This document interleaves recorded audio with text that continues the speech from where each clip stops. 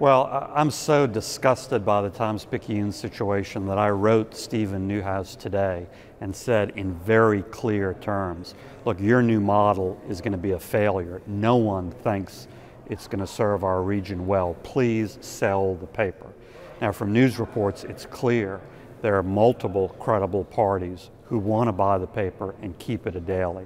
So I'm saying to them very frankly, sell the paper. Please sell the paper so we can have a real and a good daily in Southeast Louisiana.